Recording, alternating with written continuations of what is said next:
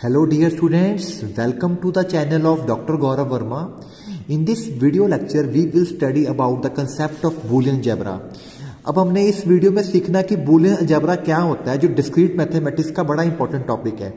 सबसे पहले हमारे पास डेफिनेशन है Boolean algebra as a lattice अगर हम लेटिस की टर्म में पढ़े कि बूलियन जबरा क्या होता है? आपको पिछले लेक्चर में बताया गया था कि जो लैटिस होता है, एक ऐसा पोसेट है जिसमें कोई भी दो एलिमेंट्स ले लो, उसका ज्वाइन और मीट एग्जिस्ट करता है और उसी सेट में जाता है। ठीक है? तो अगर कोई लैटिस है, एक complemented distributive lattice with least element जिसको हम ज़ीरो एलिमेंट बोलते हैं ग्रेटेस्ट एलिमेंट जिसको हम यूनिटी एलिमेंट बोलते हैं इज़ कॉल्ड अ जबरा यानी कि जो सा लैटिस कॉम्प्लीमेंटेड भी है और डिस्ट्रीब्यूटेड भी है। और उसमें ज़ीरो एलिमेंट भी है और यूनिटी एलिमेंट भी है। उस लैटिस को हम बुलियन जबरा बोलते हैं। डेफिनेशन है। Now definition of Boolean algebra as a algebraic structure a non empty set B basically कोई सेट है बी हमारे पास नॉन एम्प्टी जिसमें कम से कम दो एलिमेंट्स है ज़ीरो और one zero is called zero element and one is called unity element ये ज़ीरो मतलब ज़ीरो का मतलब यहाँ पे ज़ीरो नहीं है। ज़ीरो का मतलब यहाँ पर सबसे छोटा एलिमेंट है और वन का मतलब है सबसे बड़ा element. With two binary operation plus and dot and bar is a complement operation is called Boolean algebra एक सेट बी को हम बुलन जबरा कब बोलते हैं? If and only if it satisfy following axioms ये कुछ प्रॉपर्टीज़ ऑबे करेगा, तभी इसको बुलन जबरा बोलेंगे। Property number one closure property क्या होती है? For all A comma B belongs to B अगर कोई भी दो एलिमेंट लें उस सेट में से तो उनका एडिशन और डॉट भी उसी सेट के अंदर जाना चाहिए। यानी कि उसका ज्वाइन और मीट अगर उसी को बिलोंग करे तो हम बोलेंगे कि क्लोजर प्रॉपर्टी ओबे होती है। ठीक है जी? आगे सेकंड प्रॉपर्टी क्या है? देखिए सेकंड प्रॉपर्टी है कॉमोटेटिव लॉ कोई भी दो एलिमेंट ले ले, इसका मतलब होता है for all for all A B belongings to B कोई भी दो एलिमेंट्स ले लें A plus B is equal to B plus A होएगा A dot B is equal to B dot A commutative law होता है. थर्ड है जी associative law for all A B C belongings to B associative law में three elements लेने होते हैं ए plus B का sum plus C is equal to A plus B plus C का sum दोनों चीज़ें सेम आएँगी. इसी तरह A dot B C is equal to same as A B dot C ठीक है? फोर्थ नंबर पॉइंट है डिस्ट्रीब्यूटिव लॉ क्या होता है? For any three elements A B C in the set B A dot B plus C is equal to A dot B plus A dot C और इसी तरह A plus B dot C को लिखेंगे A plus B dot A plus C ठीक है जी? Fifth property है existence of identity element there exist two different identity elements zero and one in set B so that identity element का मतलब होता है उसमें क्या ऐड करे कि दोबारा वही चीज़ आ जाए। A plus zero equal to A zero plus A is equal to A. A dot one is equal to A one into A addition की आइडेंटिटी अलग होगी और मल्टीप्लिकेशन की आइडेंटिटी अलग होगी पाँच प्रॉपर्टीज़ होगी हैं। हमारे पास है six number property existence of complement तो हर एक एलिमेंट का जो ए बी में है there exist complement A bar in B so that A plus A bar is equal to one A dot A bar is equal to zero यानी कि Boolean जबरा एक ऐसा सेट होता है, जिसमें कोई भी एलिमेंट आप ले लो, उस एलिमेंट का कॉम्प्लीमेंट एग्जिस्ट करता है। ठीक है? अगर ए का कॉम्प्लीमेंट ए बार है तो दोनों का प्लस वन के इक्वल होएगा और दोनों का डॉट ज़ीरो के इक्वल होएगा। Then we say that complement of A is equal to A bar ठीक है? तो ऐसा सेट जिसमें क्लोजर प्रॉपर्टी ओबे होती है नंबर वन दूजी प्रॉपर्टी कम्यूटेटिव ला तीजी प्रॉपर्टी एसोसिएटिव ला, चौथी प्रॉपर्टी एग्जिस्टेंस ऑफ़ आइडेंटिटी एक आपका कॉम्प्लीमेंट की प्रॉपर्टी होगी। तो ये सारी प्रॉपर्टीज़ मिला के एक डिस्ट्रीब्यूटिव लॉ भी है इसमें। ये छह प्रॉपर्टीज़ जो ओबे करेगा, उसको हम बुलियन जबरा बोलते हैं। ठीक है जी क्वेश्चन देखिए। Prove that D six one two three is a Boolean algebra जो भी इस तरह के सेट होते हैं, इसमें जो रिलेशन होता है, वो डिविजिबिलिटी का रिलेशन होता है। तो जब भी आपने इस तरह के क्वेश्चंस करने, पहले आपने लिखना we will define binary operation plus and dot as तो पहले आपने ऑपरेशन को डिफाइन करना है। ए प्लस बी का मतलब है कि दोनों नंबर्स का एल्सियम ए और बी का ए डॉट बी का मतलब है जीसीडी एल्सियम तो आपको निकालना आता है। जीसीडी का मतलब होता है greatest common divisor dividing both number सबसे पहले आपने एडिशन और डॉट डिफाइन करना होता है बुलेन जबरा वाले क्वेश्चन में अब आपने इनका टेबल बनाना है। एक टेबल एडिशन के लिए बनाना, एक डॉट के लिए बनाना। बनाने का तरीका क्या है? प्लस लिख के इधर वन टू थ्री सिक्स लिख लो इधर वन टू थ्री सिक्स लिख लो। जितने एलिमेंट्स होंगे, उसको इधर लिख लीजिए और इधर लिख लीजिए। प्लस का मतलब होता है एल्सियम जब भी डी वाले क्वेश्चन होंगे ठीक है जी? तो अब देखो कैसे एल्सियम करेंगे। वन और वन का एल्सियम क्या आएगा? वन ठीक है? वन और टू का एल्सियम टू वन और थ्री कैल्शियम थ्री वन और सिक्स कैल्शियम सिक्स एल्शियम लेना आता है ना आप लोगों को? टू और one LCM two two two LCM कितना आएगा? टू अब टू और थ्री आपस में कुछ भी कॉमन नहीं है तो दोनों का LCM will be their product two into three six हो गया. टू और सिक्स कैल्शियम कितना आएगा? क्योंकि टू के टेबल में सिक्स आता है ऑलरेडी तो टू और सिक्स का जब एल्सियम लोगे तो सिक्स एल्सियम निकल गया। ये करके देख लेना आप लोग। ठीक है? अगर आपको सिखा भी देता हूँ, ऐसे करते थे छोटी क्लास में। ऐसे लिख लो। टू गया वन पे, ये गया थ्री पे। One one. तो एल्सियम कितना हो गया? टू इंटू थ्री सिक्स हो गया। टू और थ्री का। अब थ्री और वन का एल्सियम? थ्री आएगा। जो से दो नंबर आपस में कॉमन नहीं है, कुछ भी नहीं करता, उनका एल्सियम होता देर प्रोडक्ट जैसे थ्री और टू में कुछ भी कॉमन नहीं है तो एल्सियम होगा दोनों का प्रोडक्ट अगर दोनों नंबर सेम है थ्री थ्री तो एल्सियम थ्री आ जाएगा। थ्री सिक्स का एल्सियम सिक्स आएगा। अब सिक्स का सबसे एल्सियम लोगों तो सिक्स ही बनेगा। Six one the six six two का एल्सियम भी सिक्स होएगा। सिक्स थ्री का एल्सियम भी आ जाएगा। सिक्स सिक्स का। अब जब आपने ये एडिशन की तो जो भी आंसर्स आए हैं, वो सारे हमारे सेट के बीच में से आए हैं। इसका मतलब कोई भी दो एलिमेंट ले लो, उनका प्लस कर लो, दोबारा डी सिक्स को बे कर रहा है। यानी कि ये प्रॉपर्टी ओबे होगी प्लस वाली क्लोजर में। अब डॉट का मतलब क्या है? डॉट का मतलब है ग्रेटेस्ट कॉमन नंबर जो दोनों को डिवाइड करता है। वन वन को कौन सा नंबर डिवाइड करता है? वन वन और टू को कौन सा नंबर डिवाइड करेगा? मतलब वन है एक नंबर टू है। आपने बताना कि इनमें से कौन सा नंबर ऐसा है जो दोनों को डिवाइड करे? डेफिनेटली वन डिवाइड करेगा टू को। टू तो करेगा नहीं कभी वन को डिवाइड वन थ्री का भी वन हो गया वन सिक्स का भी वन हो गया। टू वन का डिवाइजर कौन सा है? वन टू टू का डिवाइजर कौन सा होगा टू आ गया अब। टू थ्री वो इवन है, वो ऑड है।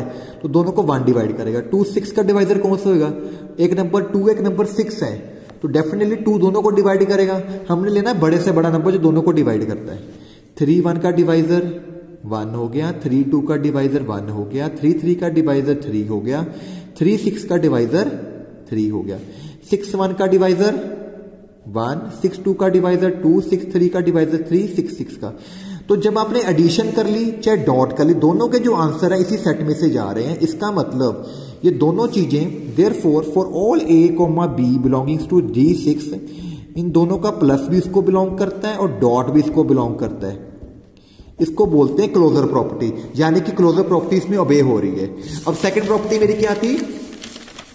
सेकंड प्रॉपर्टी थी मेरी कम्यूटेटिव लॉ तो इसमें सीधी बात है, अगर दो नंबरों को प्लस करेंगे, उनका उल्टा करेंगे सेम ही आएगा। Clearly commutative law holds good जैसे आप ले लो थ्री प्लस टू ले लो, चाहे टू प्लस थ्री ले लो। अब यहाँ पे थ्री प्लस टू का मतलब फाइव नहीं है बेटा। यहाँ पे प्लस का मतलब एल्सियम थ्री और टू का एल्सियम लोगे तो सिक्स आएगा। और टू और थ्री का एल्सियम लोगे तो भी सिक्स आ जाएगा। तो ओके होगा कॉम्पिटेटिव लॉ जो आपने एडिशन के लिए करके दिखाया है, वो आपने डॉट के लिए भी करके दिखाना है। ठीक है? अब डॉट का मतलब क्या? जीसीडी जीसीडी का मतलब ऐसा नंबर जो दोनों को डिवाइड करता है थ्री और टू को वन हो गया। इसी तरह टू और थ्री की जीसीडी भी वन होगी। ठीक है? दोनों तरफ़ से वे हो गया। एसोसिएटिव लॉ क्या होता है? A plus B plus C is same as A plus B तो आप कोई भी नंबर ए बी सी लेके इसको सेटिस्फाई करके सकते हो। जैसे ए तीन ले लो बी आप दो ले लो वन ले लिया। ठीक है? दो और वन का एल्सियम दो आएगा। तीन और दो का एल्सियम छह आ गया। एल एच एस कंप्लीट होगी। अब आर एच एस में आ जाओ। ठीक है, तीन और दो कैल्सियम पहले ब्रैकेट सॉल्व करनी है। तीन और दो कैल्सियम छह आ गया। छह प्लस एक कैल्सियम छह आ गया। तो एडिशन के लिए अवे होगी, इसी तरह डॉट के लिए भी करके दिखा सकते हो। अब नेक्स्ट है मेरे पास डिस्ट्रीब्यूटिव लॉ डिस्ट्रीब्यूटिव लॉ था A dot B plus C is same as A dot B A dot C ठीक है? तो कुछ भी ले सकते हो, ज़रूरी नहीं ए थ्री लेना है। ए को वन ले लो बी को टू ले लो सी को आप ले लो सिक्स ले लो। ठीक है? वन ऐसे देगा दो प्लस सिक्स दोनों का एल्सियम कितना हो गया? सिक्स तो one dot six one dot six का मतलब जीसीडी है. वन और सिक्स की जीसीडी वन आ जाएगी. तो ये आपकी लेफ़्ट हैंड साइड होगी. अब आर एच एस करो. ए मैंने क्या लिया था? वन बी मेरा टू है. वन सिक्स वन और टू की जीसीडी क्या होगी? दोनों को कौन सा नंबर डिवाइड करता है? वन वन सिक्स की GCD one one plus one LCM one नहीं आएगा.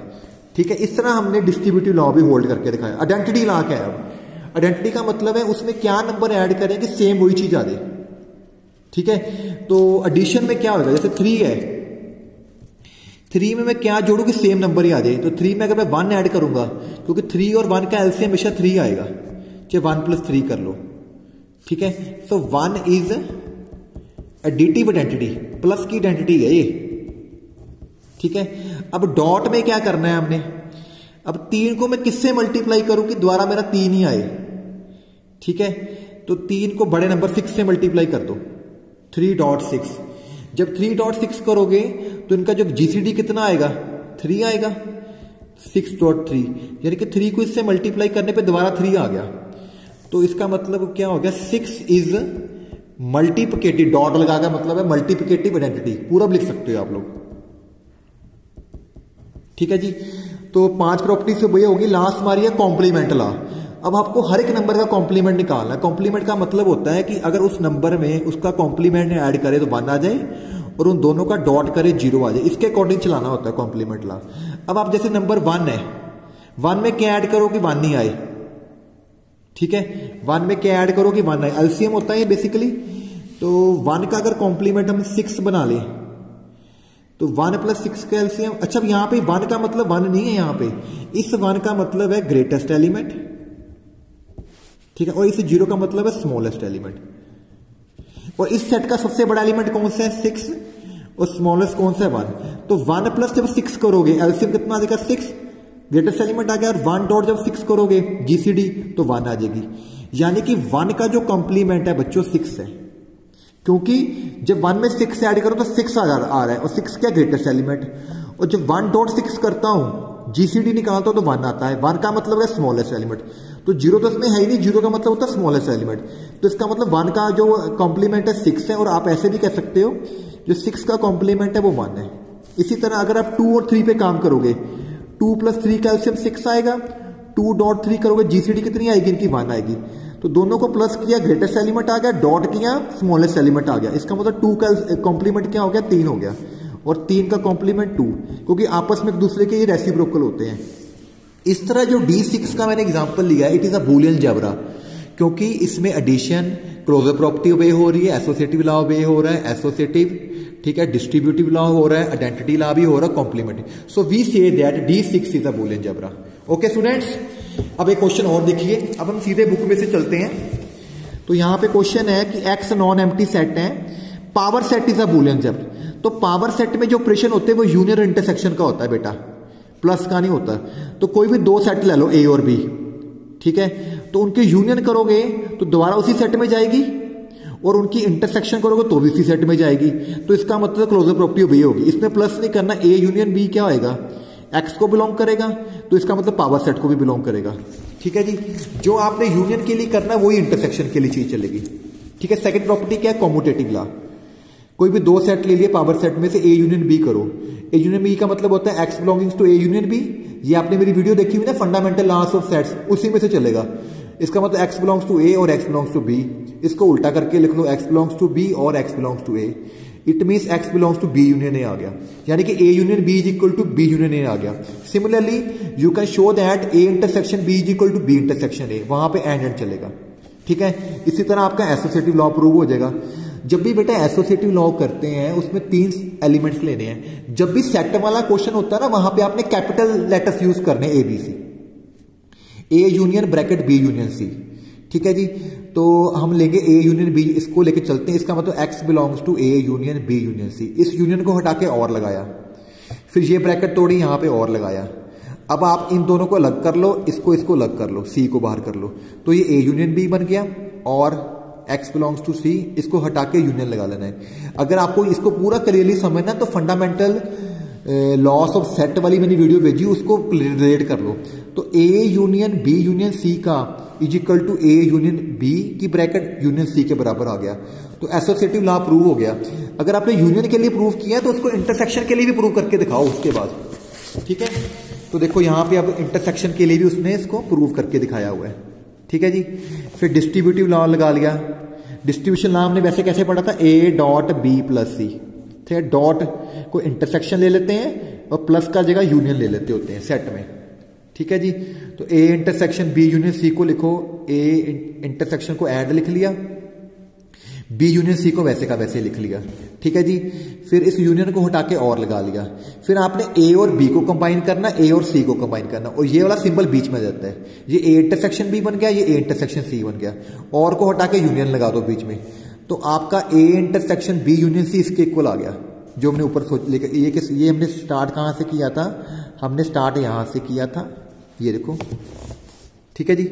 यहाँ से स्टार्ट किया था और ये इसके इक्वल आ गया। इसी तरह इसका सेकंड वाला प्रूव करना सेकंड क्या था हमारे पास? A plus B C that will equal to A plus B dot A plus उसके अकॉर्डिंग इसको भी प्रूव कर देना आपने।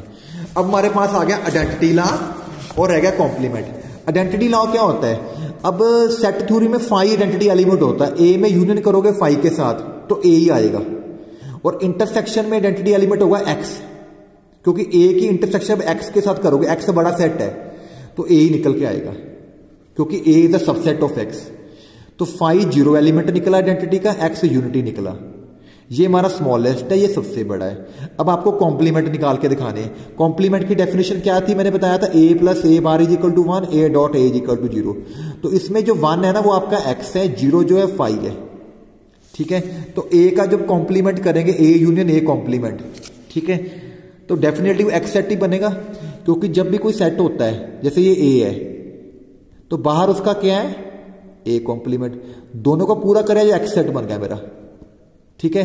और दोनों का कॉमन क्या है? ये ए है, ये बाहर कॉम्प्लीमेंट कॉमन तो कुछ भी नहीं है तो फाइव आ जाएगा। इसका मतलब जो ये पावर सेट है, ये सभी प्रॉपर्टीज़ ओबे कर रहा है बुलियन जबरा वाली। तो इस तरह मैंने आप इसको वीडियो में आपको सिखाया कि डेफिनेशन क्या है। बेसिकली बुलियन जबरा को प्रूव करने के लिए छह बातें आपको प्रूव करनी है। Thank you very much students for watching my video signing off doctor Gaurav Verma assistant professor of mathematics